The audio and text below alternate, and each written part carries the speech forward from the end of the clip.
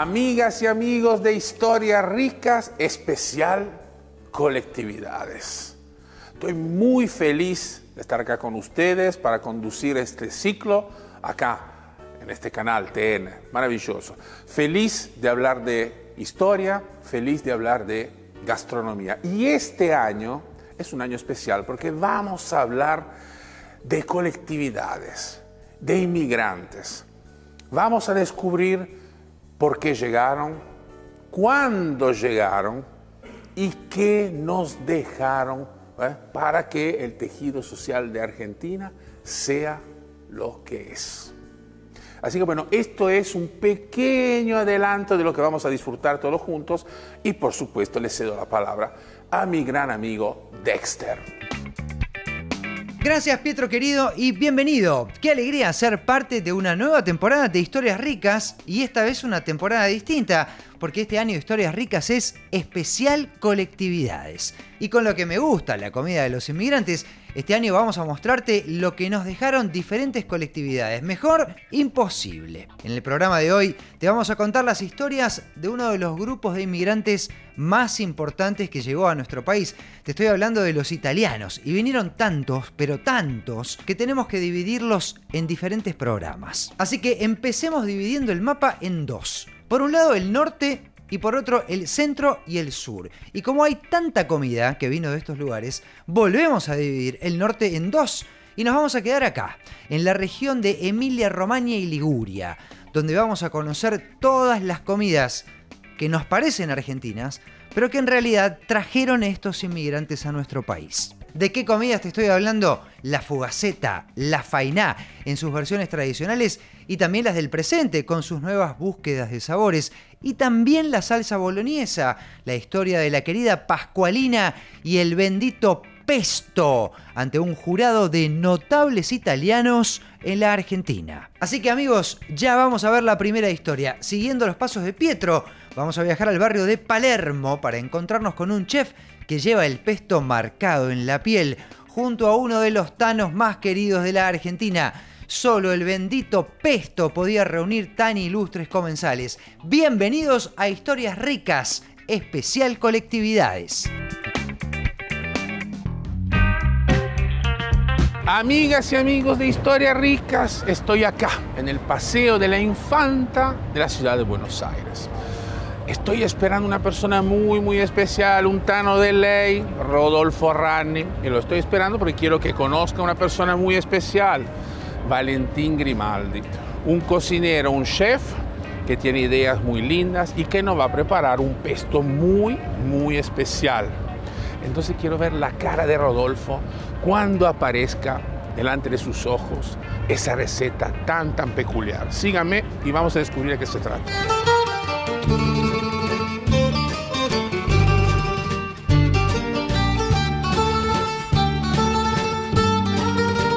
Rodolfo, te quería presentar una persona acá, Valentín. Valentín Grimaldi. Mamma mía, mira, qué mamma mía. apellido, Grimaldi, como la, real- la realeza, La del realeza de Principado de Mónaco. Mónaco. ¿eh? ¿Cómo te llevas con el pesto? Me llevo muy bien con el pesto. Yo tengo este, la fascinación primero por la palabra pesto, ¿no? De dónde viene, del machacar. ¿Te puedo Eh, pedir una gentileza? por supuesto. ¿Lo podemos sorprender a Rodolfo con... ah, ¿Mostrándole el tatuaje? Sí. A ver, viejo, a Eh, ver. me voy a desnudar un poco, pero Sí, ya, viste todo en la vida. Pero no es un tatuaje un poco... ra- Pesto. mía. lo tiene tatuado hasta en la pierna.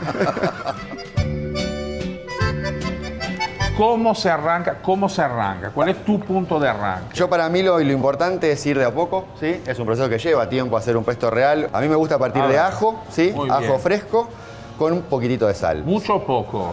¿De sal? No, ajo. Y de- yo calculo un ajo para dos. Un más o diente menos. de ajo Un diente para de dos ajo para dos. Yo sé que vos le pones dos dientes ¿Vos, de ajo. Rodolfo, te Yo gusta con bastante mucho ajo, ajo o con menos, bastante menos ajo ajo? Bastante ajo. sal. Muy bien, entonces vamos bien. Y arrancamos con el mortero. Lo importante del mortero, obviamente sí, con el ajo, con la sal, va a empezar a generar una pasta. Es ir generando esta pasta con cada uno de los ingredientes y de a poco. ¿Le sacas el brote vos al ajo? Sí. ¿Cómo te llevas con la cocina, Rodolfo, en general? ¿Es, importante en tu vida o es más Sí, o muy- menos? muy o sea, importante. o te es indiferente. ¿Cómo, ¿Cómo te llevas con la cocina? Muy importante para mí. La cocina es puro amor y ahí hay que reclamar. Y tiempo, ¿eh? porque las cosas Tiempo, buenas llevan, llevan un poco más de tiempo. Para todos aquellos que se quejan que dicen que no se puede usar un mortero, amigas y amigos, no sé, un minuto y medio. Pasta Y generada. Eso. No es tan complicado, créanme. Bien, generamos la pasta ya y vamos con el fruto seco. Rodolfo, cuando estás de gira, vos estás de gira con tus espectáculos, con, tus, eh, con tu actividad que nunca termina. Bueno, ¿Para vos es importante terminar la noche y comer algo rico o preferís eh, evitar? No, no, es importantísimo. Lo que pasa es que en la gira es dificilísimo que suceda eso porque o están cerrados los restaurantes, los pueblos claro. son chicos, Claro. o no tienen restaurantes, Ah, tenés que viajan 30 kilómetros. Y en general, tengo que decirlo, aunque me odien, que no, no, es muy difícil comer bien. ¿Y cómo lo resolvés? Y lo Si lo resuelvo resolvés. comiendo, ¿hay lengua a la vinagreta? Bueno, Vas como venga eso, la vinagreta, adentro. eso difícilmente nos falla. lo clásico. En algunos la hierven poco también, pero no importa. Bien, viene la parte este, de lo, lo que marca. El oro verde. El asunto, el oro verde. Obviamente elegimos siempre hojitas chiquititas, ¿sí? más tiernas, más sabrosas y para, también para trabajar de una manera como mucho más simple. La hoja grande de albahaca tiene un gusto a menta, es más fibrosa y por lo tanto el pesto va a ser menos agradable que este.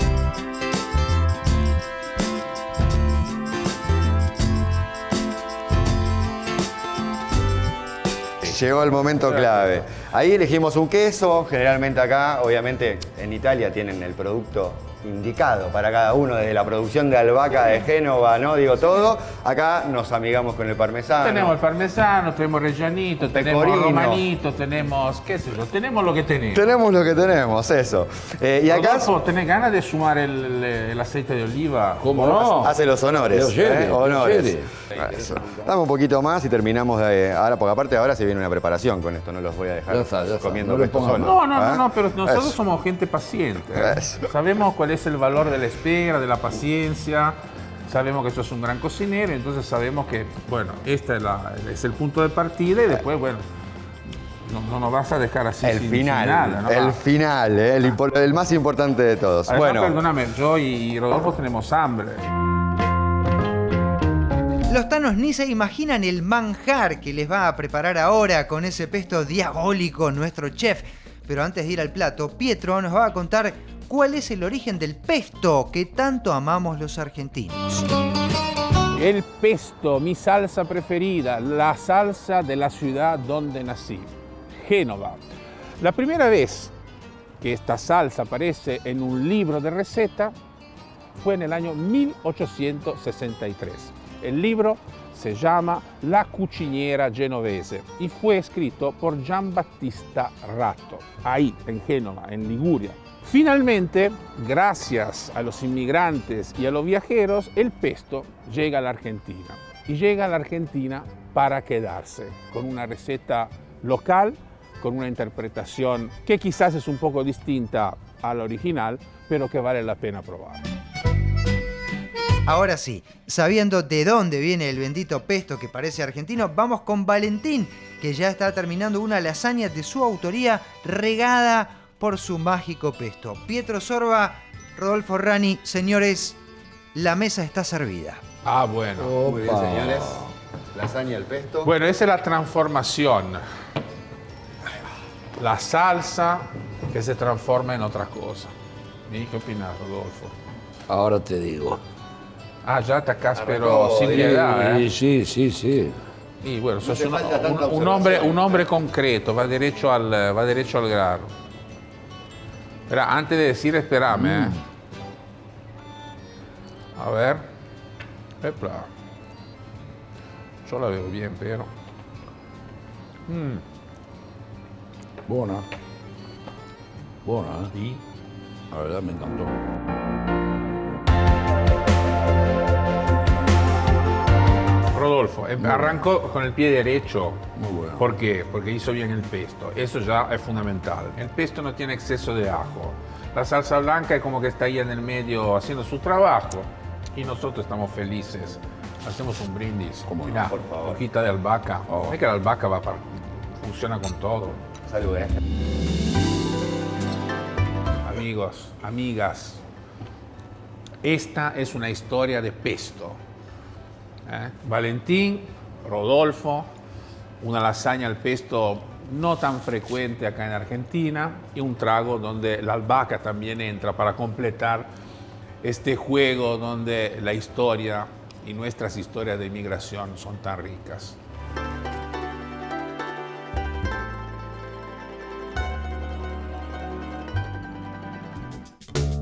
¡Qué delicia! Y cuánta tanada junta alrededor de un plato casi sagrado. Cómo cambian los tiempos también. ¿Se imaginan a Doña Petrona tatuándose la receta de un bizcochuelo en la espalda?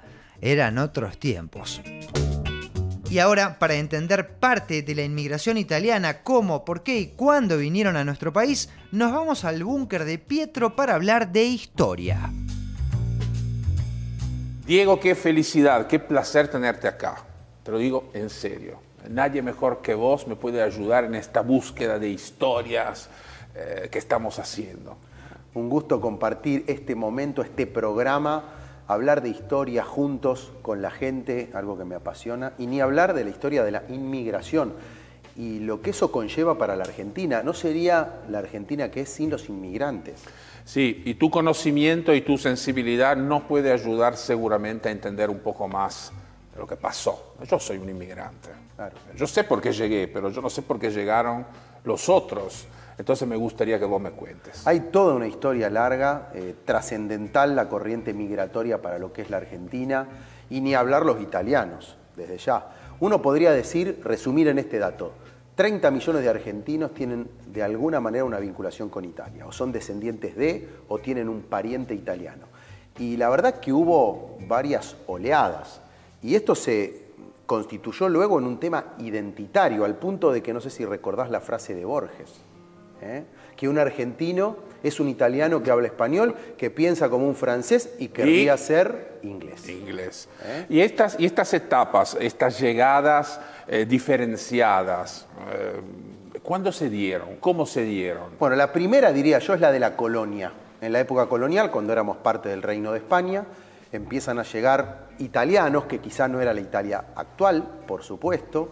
Eh, hay italianos en la Junta de Mayo de 1810, Alberti, Beruti, el mismo Belgrano. El padre de Belgrano viene de tu pueblo, Domingo Belgrano y Peri, genovés. Ligur, Ligur, De la Liguria, ¿no? absolutamente como yo. Vos sabés que el padre del prócer fue uno de los hombres más prominentes económicamente del Río de la Plata. Estudios sostienen que está entre la segunda y tercera fortuna del Río de la Plata en su época. Era un gran empresario, comerciante, obviamente comerciaba también con esclavos, como era en la época, y también contrabandista. Sí, el padre del prócer también era Y bueno, son pequeños, pequeños problemas, pero bueno, no importa. Esa es la primera. Y, y después, obviamente, viene la oleada más grande. El 60% de los inmigrantes en esta etapa que va desde mitad del siglo XIX hasta la Primera Guerra Mundial. Y esa es premeditada porque es una política del Estado. Se busca traer al inmigrante. ¿Vos te acordás, Alberdi, gobernar es poblar?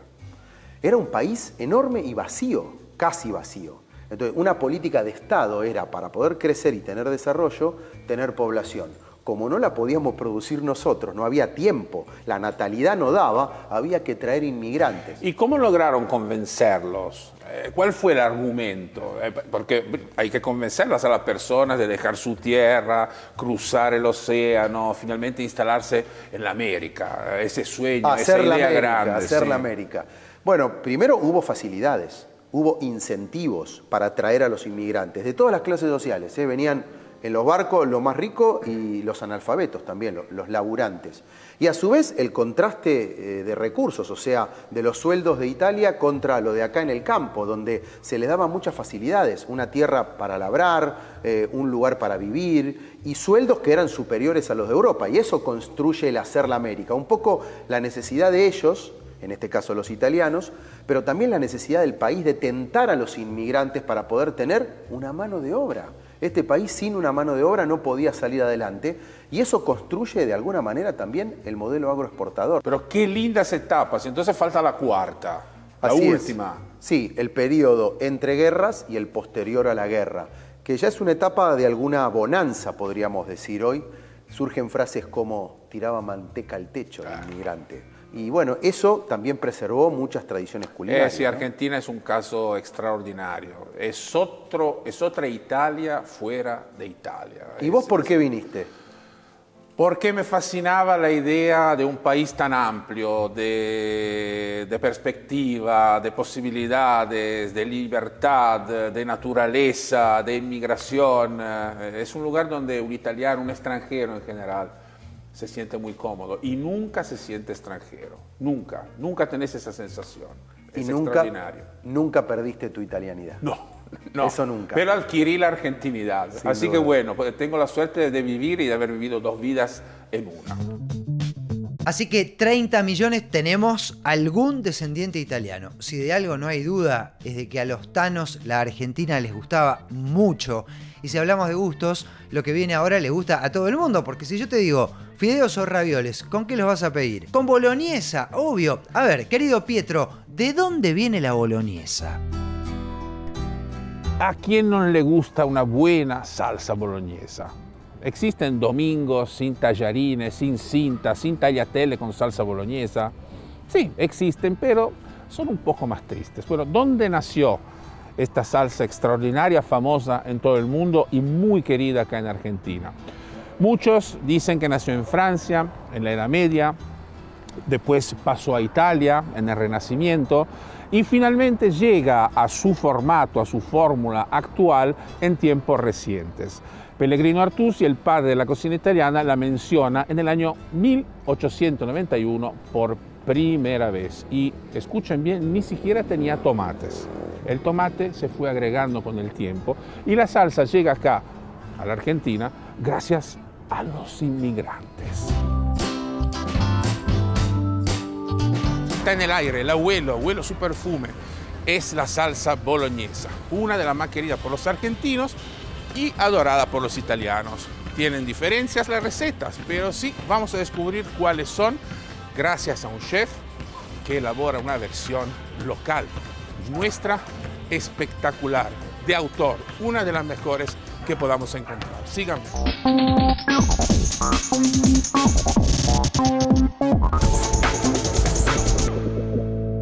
Bueno, Gastón, estamos en la cocina. Vamos a ver Sí. cómo, cómo, cómo vos preparás esta, esta Bueno, nosotros- bendita salsa boloñesa o ragú boloñés. Bueno, lo que vamos Arranque. a, vamos a utilizar en una olla, vamos a hacer poca cantidad, ¿sí? Vamos a usar una olla, acero inox en la medida de lo posible, buen aceite de oliva, vamos a fondear unos vegetales, los vegetales que vamos a fondear son cebolla, en mayor cantidad que zanahoria y, y apio. ¿sí? Todo cortado minuciosamente. Sí, una brunoise. Y vamos a usar, el apio es bastante invasivo, así que vamos a usar nada más que una cucharada. Y ya ahí tenemos una diferencia, porque es una diferencia importante que finalmente se repercute en el sabor, porque una cosa es colocar esto y otra cosa es colocar ajo, morrones, etcétera, Lo, etcétera. lo que vamos a hacer ahora, lo que vamos a hacer ahora es poner un poquito de sal. Eso va a ayudar a cuidar la preparación, a que no se, no se queme, a que libere un poco de, de líquido, del propio líquido de, la- de los vegetales, ¿sí? Y vamos a lograr que quede, sin darle color, ¿sí? Vamos a sudar estos vegetales. Bueno, Pietro, ahora- Espectacular, tiene un color fantástico. bueno, muchas gracias. Bueno, te cuento lo que fuimos haciendo. Eh, al sofrito le fuimos agregando eh, el ajo licuado a último momento. Le agregamos pimienta, briznas de tomillo, ¿sí? Y por último la carne. Ahora nosotros lo que vamos a hacer es dejar cocinar muy bien la carne, es importante. Y acto seguido le vamos a incorporar el fondo de ternera y la salsa de tomate. Entonces, vino, vino blanco, vino tinto, no tiene. Esta versión Perfecto. No tiene no, vino. me interesa mucho, me interesa mucho. no tiene mucho. y después dejan que el calor haga su trabajo. Bueno, no veo la hora que pase ese tiempo, que la boloñesa concentre su sabor y que finalmente la encontremos en el plato en compañía de su amiga inseparable que es la pasta.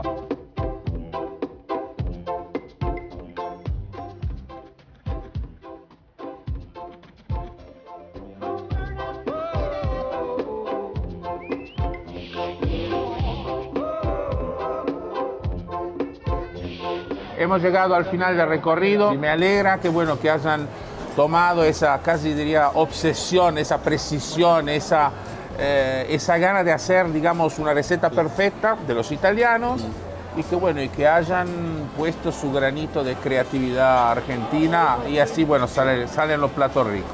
Bueno amigas y amigos, esta es una boloñesa de espíritu italiano y de alma argentina. Espectacular esa salsa boloñesa, ese manjar de los dioses del Olimpo italiano. Cuánta maestría en ese chef. Pero sigamos con la charla de Diego y con Pietro para saber por qué habrán venido tantos italianos a nuestro país. Y Diego, ¿qué nos podés contar de lo que nos toca hoy? Norte, noroeste de Italia, eh, ¿qué pasó ahí? ¿Qué estaba sucediendo? ¿Qué estaba pasando? Claro, ¿por qué se acelera la inmigración de esa zona hacia acá? Hay razones económicas de aquella zona cuando se habilita el canal de Suez y empiezan a entrar algunos productos como seda natural, arroz, más baratos. Entonces eso hace que se vea afectada la economía de una serie de personas que vivían en ese lugar y vieron la posibilidad de hacer la América, comparando por lo que les decían sus parientes, que esto es muy típico, son cadenas migratorias.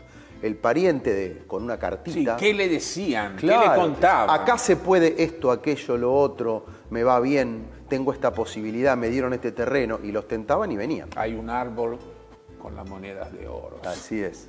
Y además la Argentina se estaba, se venía organizando. En 1880 se genera eh, la unificación del Estado, en la época de Roca. Un Estado más moderno que unifica la moneda, el ejército, y eso da una certidumbre y una política de tentación, de seducción al inmigrante. Sí, pero yo no entiendo por qué llegaron tantos en esa cantidad abrumadora. Y porque comparaban los salarios.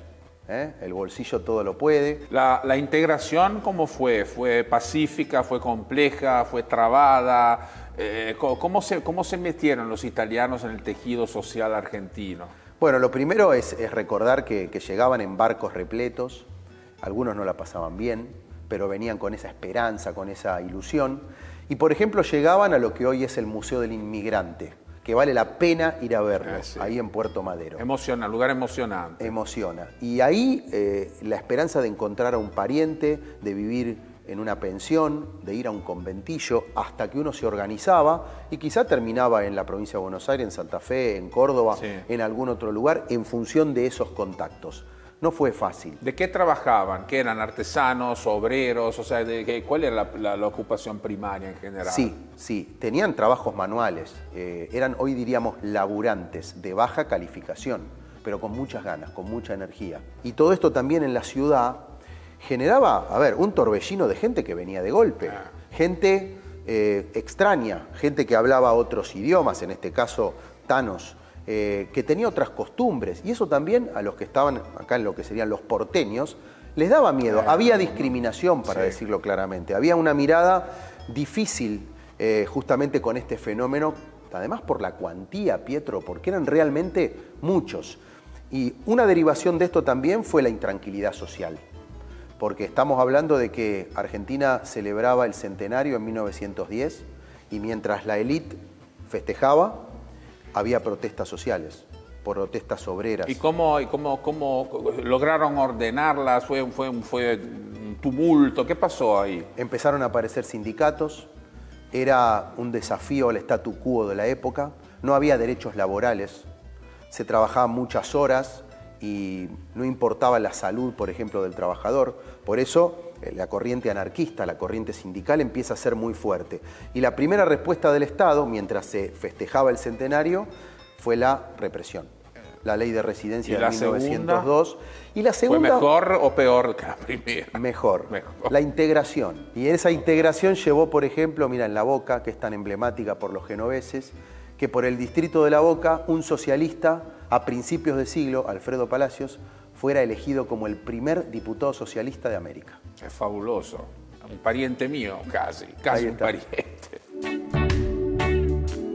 Seguimos en historias ricas. Ahora tenemos palabras, ingredientes, recetas. ¿Quieren saber cómo se dice en italiano? Farina, Pane, Oli, Un dolce? cucina,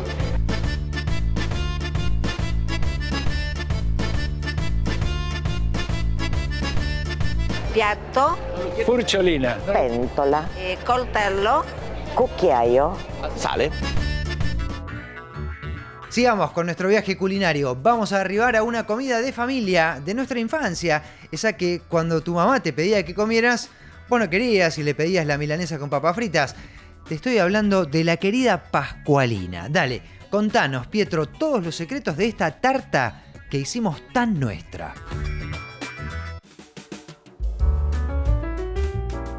La pascualina es una receta muy, muy antigua, tiene siglos de vida. Ya hay mención de ella en eh, los recetarios de la antigua República de Génova. Estamos hablando del siglo XIV o XV. En esa época se llamaba gatafura.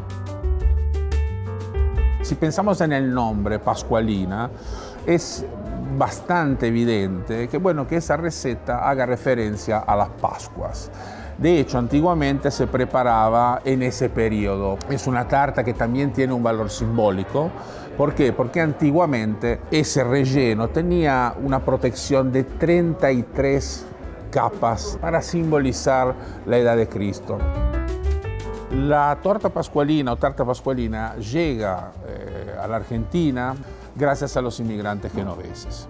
Esa inmigración masiva, fuerte, supo transmitir a los habitantes de su nueva patria, a los vecinos de su nueva patria, bueno, el amor por esta receta. De hecho, eh, se transformó en una receta popular. La encontramos en los kioscos, la encontramos en los restaurantes de comida callejera, eh, la encontramos en las casas de, de las familias, o sea, donde, bueno, se transformó en una comida cotidiana. Se comía en mi casa, no digo todos los días, pero por lo menos dos veces por semana. Y mi madre la preparaba eh, magníficamente. Eh, tengo la receta acá, grabada en mi memoria, y se la podría explicar en, en un minuto. Lo voy a hacer. Se rehoga la cebolla hasta que esté transparente. Se agrega acelga previamente hervida, escurrida y picada. Se integran en un sartén con aceite de oliva hasta que se hagan amigas, sal, pimienta. Finalmente, cuando los dos ingredientes bueno, se hicieron realmente amigos, se apaga el fuego, se agrega ricota, la mejor ricota que puedan encontrar en el mercado, la más fresca, la más cremosa, se mezcla con la cebolla y con la selga. Cuando todo eso resulta bien homogéneo, se agrega el queso rallado y un par de huevos, obviamente cascados, para que esa mezcla tenga todos los ingredientes necesarios para juntarse y generar esa sinfonía de sabor extraordinaria.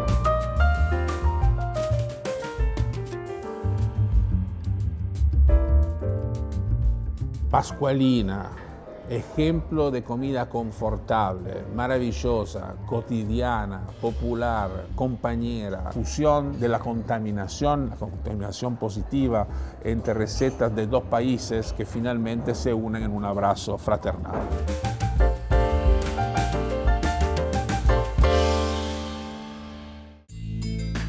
Mira, nunca me imaginé que la Pascualina pudiera tener tanta historia. Ahora que estoy más grande, me gusta mucho más. Yo creo que es una tarta que se aprecia con el tiempo, como el tango, ponele. Pero dejemos la filosofía tartera de lado y volvamos a Pietro y a Diego, que hablando de tanta comida, parece que ya hay algo para picar, ¿eh? Bueno, Diego, mucha, mucha comida y inevitablemente, ¿qué sucede? Se abre el apetito. Ahí está. Que tenemos acá. ¿Y qué es lo que tenemos Eh, acá? este es Representativo de tu zona. Otra herencia, otra herencia italiana que, bueno, se transformó en un alimento eh, popular en Argentina, mortadela. originaria eh, de la ciudad de Bolonia, en la región de Emilia-Romagna. Eh, es, una- es un producto humilde, ¿no? nace como producto humilde, pero es una- tiene una historia realmente muy larga. Algunos sostienen, algunos afirman que arrancó con los antiguos romanos. De- hecho, mortadella viene de mortero, deriva de mortero, eh, porque alguien en su momento evidentemente machacaba la carne en el mortero con las especias, finalmente le daba esa forma alargada y bueno, esa fue una mortadela primordial que se transformó. Pero vos me estabas hablando de Alfredo Palacios, me estabas hablando de La Boca. La Boca tiene un vínculo estrecho con Génova. ¿Qué pasó? ¿Qué- cuál, es, ¿Cuál es la historia? Bueno, probablemente uno de los barrios más asociados con la italianidad, ¿no? Eh, primero por la llegada de los genoveses, por sus actividades que está en contacto con el agua, todo lo que es lo naviero. Pero además recordamos que esa zona, el Riachuelo, era la zona quizá comercial y productiva, portuaria más importante de Buenos Aires. Ahí estaban los saladeros, en la época de Rosas, ahí crece la industria. Se llamaba Barracas al Sud, o sea, unía lo que hoy es la ciudad de Buenos Aires con Avellaneda. Era la conexión con la zona Así sur. es. Y esta herencia que hoy tenemos, Caminito, las casas de colores, el pueblo de pescadores, viene de esa historia de los genoveses eh, que dejaron claramente su marca en el lugar, ¿no? Ahí quizás eh, algunos afirman que haya una conexión con un barrio típico de la ciudad de Génova, que está casi en el centro geográfico de la ciudad, que se llama Bocca d'Asse. Eh, entonces, Boca, Boca, Bocca d'Asse, eh, bueno, que inspiró el nombre de la boca, y bueno, y finalmente quedó. Bueno, es otra conexión más que existe entre Génova, entre Italia. Una y conexión muy importante, Boca d'Ace, y también la boca del Riachuelo, porque era el lugar de entrada, era un puerto, lo que es. hoy es eh, la zona de Caminito. Entonces, esa sensación que tiene de boca, de entrada, el Riachuelo, que además en esa época se transitaba, no como últimamente, le da también ese, ese sentido a la palabra la boca. Y Mil- Boca, Boca, Boca, Boca, Boca Junior. fútbol. Sí, fútbol, los Ceneices. ¿Qué significa Ceneice? Genovés. Ahí está. Pero muchos no lo saben. Es, es- es una cosa que realmente no termina de sorprenderme. Me sorprende, sorprende, sorprende, sorprende, porque muchos usan, utilizan la palabra Ceneice, pero en realidad no saben qué significa genovés. Lo asocian simplemente al equipo de fútbol. De todas maneras, es interesante. es A importante. principios del siglo XX, un grupo de descendientes de genoveses crearon este club que, que hoy es uno de los más importantes de la Argentina y que la zona mantiene tan fuertemente esa impronta. Yo recuerdo eh, un dato que dio el historiador Fernando Devoto, que es realmente muy conocido en los temas de inmigración. Allá por 1850-60 hicieron una encuesta en La Boca. ¿Sabés cuántos eran tanos? Especialmente de la Liguria. Eh, no sé, no, no conozco el dato, pero te tengo a vos acá y por lo tanto... 94%. Eh, casi todos. casi todos. Así es. Así que Geneise quiere decir genovés, o sea que todos los genoveses son geneises. Claro, por eso dicen que son la mitad más uno y que están en todas partes. Así cualquiera. Pero mira, ya que estamos hablando de la boca, las casitas de colores, se me vino a la cabeza un nombre que está asociado con ese barrio, Banchero. Si decimos Banchero, decimos Fugaceta rellena. Así que vamos con Pietro a conocer esa historia.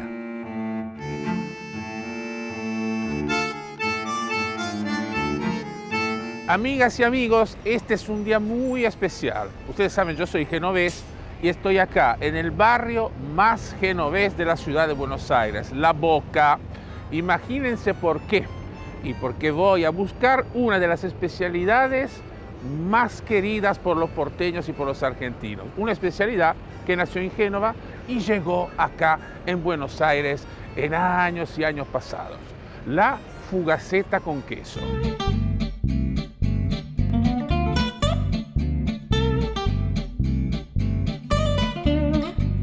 ¿Cuándo empieza la historia de Este don Juan Banchero vino 19 och- 1893 con el padre. Y el padre armó una panadería, Olavarría y Irala. Y ahí se crió don, don Juan Banchero. Después se casó, puso una pequeña panadería en Tesquina. Y un amigo que le dice, ¿por qué no pone una pizzería? Y entonces empezó con Fuasa y La Faina. Y un tiempo y después agregó lo demás. Y esta fugaceta con queso, un día estaban don Juan Manchero con unos amigos y que le dijeron, Juan, ¿por qué no inventas algo nuevo? Y así fue. Armó, amasó, masa, queso, masa y cebolla. Y ¿Cómo se le habrá ocurrido, no? Y no sé. Es un invento extraordinario. Claro, porque él ya estaba con la panadería, vio al padre como hacía y, quedó así. y quedó esto. ¿eh? Y desde ese momento la fugaceta no cambió nunca. No, Siempre no, se prepara así. Con queso cuartirolo.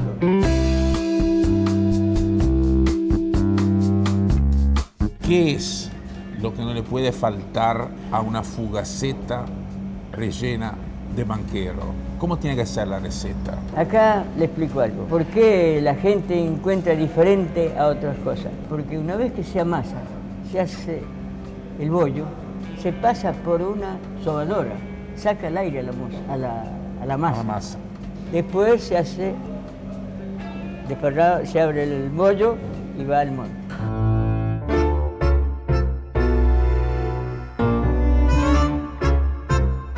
Hace cuántos años que el maestro pizzero trabaja acá? Del 84. 80, o sea, más o menos entraron juntos. Sí, Se conocen, un son año ca- después. casi ¿no? hermanos. Sí, yo lo tomé, yo lo ¿Eh? tomé. yo lo ¿Es tomé. así? Sí.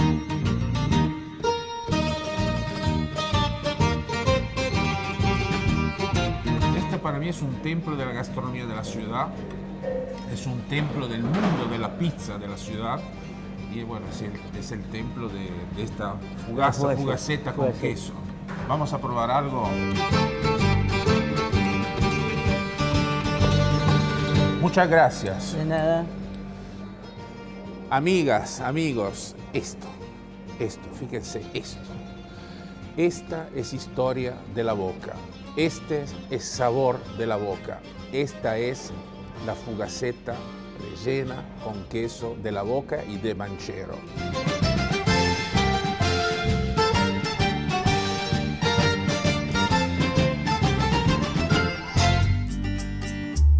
La fugaceta tradicional es todo lo que está bien y cuanto más pasa el tiempo más rica es. Pero también, como en todo, hay personas que buscan ayornarla, cambiando cosas de la receta tradicional y manteniendo otras. La fugaceta vino de una manera de Italia, pero acá mutó y se está haciendo bien argenta. Vamos a acompañar a Pietro que se fue de la boca a San Telmo en busca de las nuevas formas de hacer la fugaceta.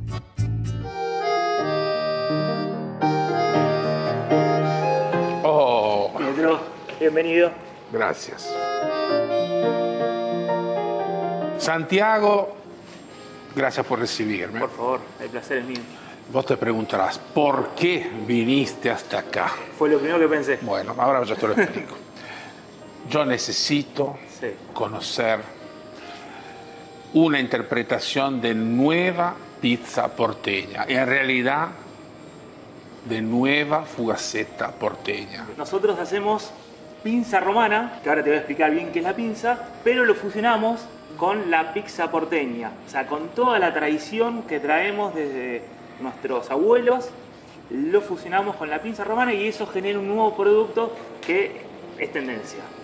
Entonces, ¿cómo hacemos esto? Agarramos para la masa harina de arroz, harina de soja, harina de trigo, con eso hacemos un amasado que después, eh, con una alta hidratación y una larga fermentación, generamos un producto que queda muy liviano, súper fácil de digerir y es innovador.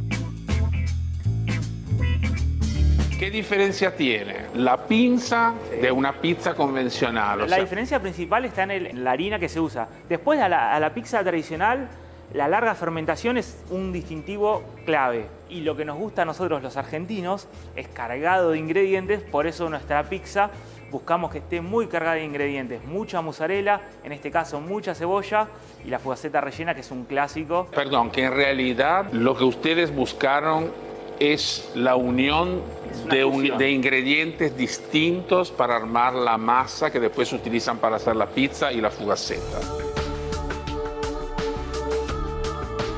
Bueno, entonces nos queda otra que probar. Y bueno, te invito entonces a la cocina. Vamos a cocinar. probar esta pizza maravillosa. Pero a ver, ¿qué cantidad de queso colocás ahí adentro? Y acá estamos es una cosa impresionante. un kilo de queso. Bueno, eso, eso es típicamente porteño, muy medio tradicional. Kilo, medio kilo de cuartirolo, medio kilo de mozzarella. Como ya te dije, fíjate que se ven los dos colores. Ahí está la tradición. Esa es la tradición. Sí, porque es fundamental. Si la, la fugaceta rellena tiene poco queso, termina siendo mucha masa. Mucha masa.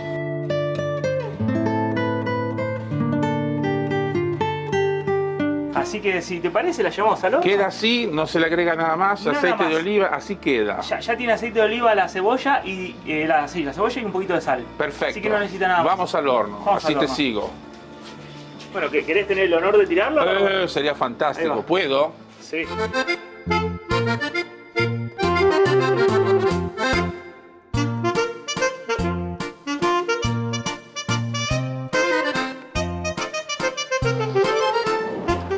Llegó la obra de arte. Llegó la hora, Pietro. Llegó la síntesis eh, Vamos a entre pasado, futuro, pizza porteña, pinza, pizza de antigua generación La zarpada. y pizza de nueva generación. Así que bueno, vamos a ver al corte lo que sale. Este es el momento. Amigos, pero miren esto, miren esta delicia. Miren, yo lo toco con el dedo, no se asusten. eh. Miren, mire este queso, mire, mire cómo está. Mire la terneza que tiene. Es una nube, una nube de placer. ¿eh? Es una nube no tan etérea, pero es una nube de placer. Este queso es una lava, es la lava de un, de un volcán que baja de la montaña. Y nosotros, bueno, baja acá en San Telmo, en esta pizzería maravillosa.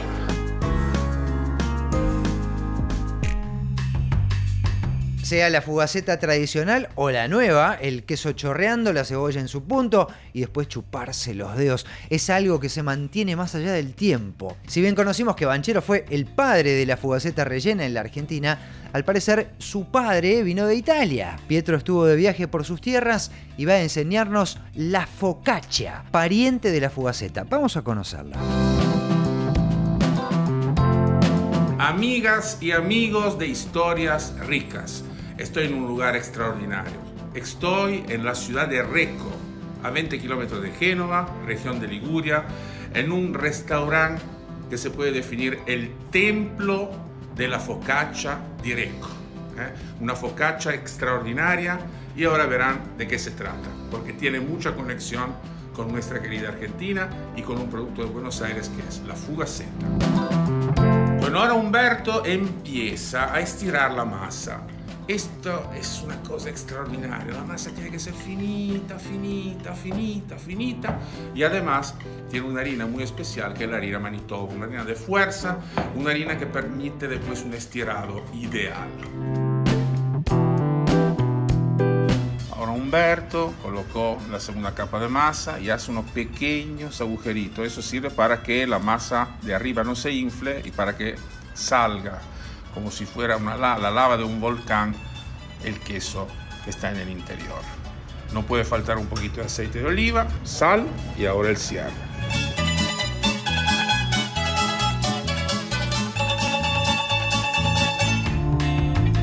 Amigas y amigas, tenemos que ir a un pequeño corte comercial, pero por favor no se vayan. Tenemos muchas más historias ricas para contar. Ya volvemos. Es así como dice mi amigo Pietro, quedan muchas más cosas para ver, como por ejemplo saber por qué se come la faina arriba de la pizza. Un dato así no te lo podés perder. Quédate, que ya volvemos con más historias ricas.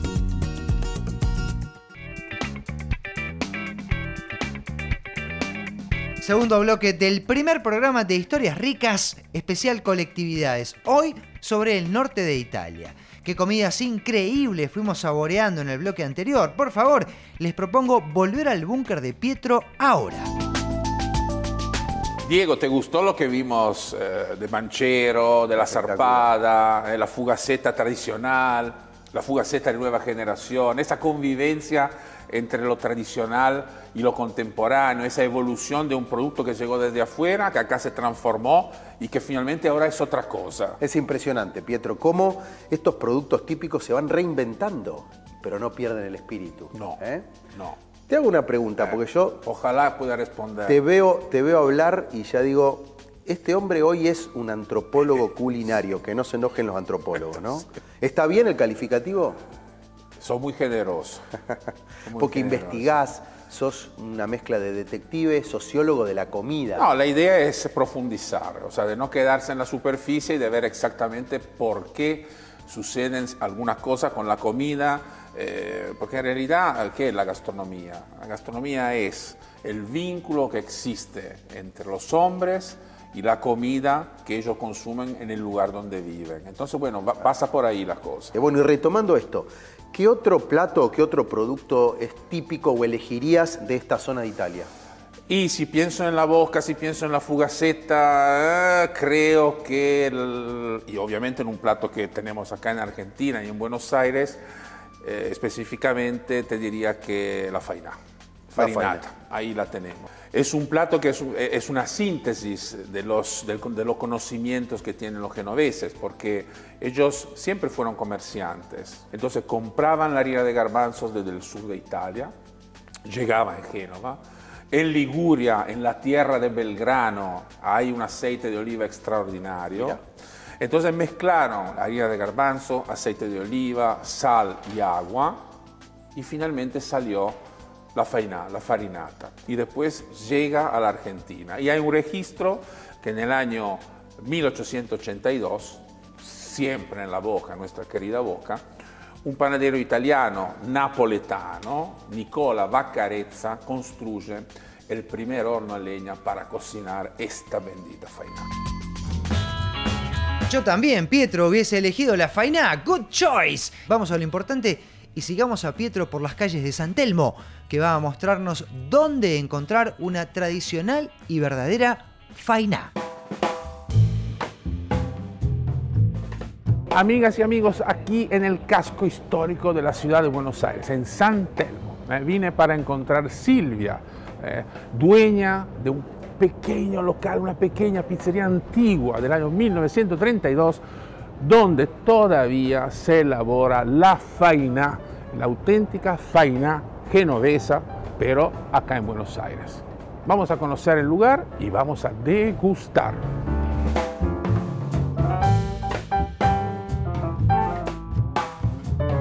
Este lugar para mí es emocionante.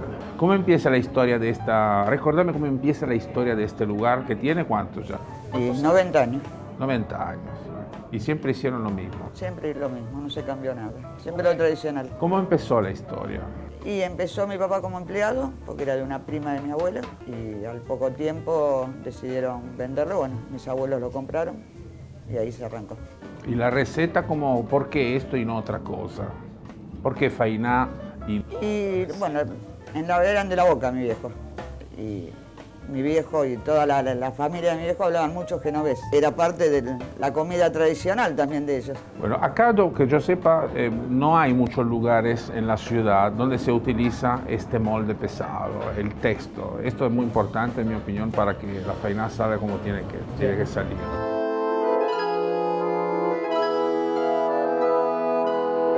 ¿Cuál es, si existe y si me lo quieres contar, cuál es el secreto de la verdadera faina porteña y de la faina de Pirillo? Calentar el aceite al horno despacito, para que se cocine parejita. O sea, crocante para arriba y bien húmeda y esponjosa para para adentro, ¿verdad? La tradición de superponer Y acá la pizza algo con la faina. con la faina. Es algo muy de acá del porteño para mí. ¿Estuvo desde siempre que vos Sí. recuerdes? Sí. Te- ¿Alguien te no tan solo contó? con la Sí, sino sí, con sí, demás, sí. pero es como acompañar a la pizza. Te lo, voy a, te lo voy a contar yo. Decímelo. Los antiguos vendedores de la boca tenían unos tachos y en esos tachos tenían pizza y faina. Entonces, ¿qué pasaba? Llegaba el cliente y decía, quiero una y una. Entonces era mucho más práctico poner uno arriba del otro y gastar solamente un pedacito de papel y hacer todo más rápido. Y de ahí salió la, La tradición de superponer una feta de faina y otra de pizza.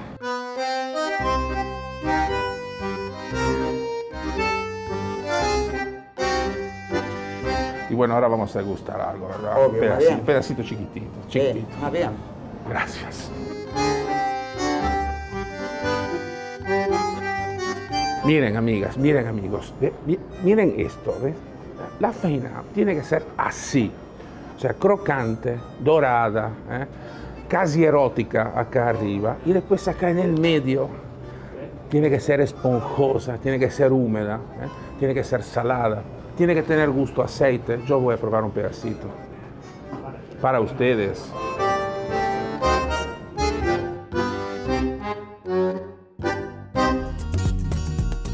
Vamos a un pequeño corte comercial. Hay muchísimas cosas más para descubrir. No se vayan.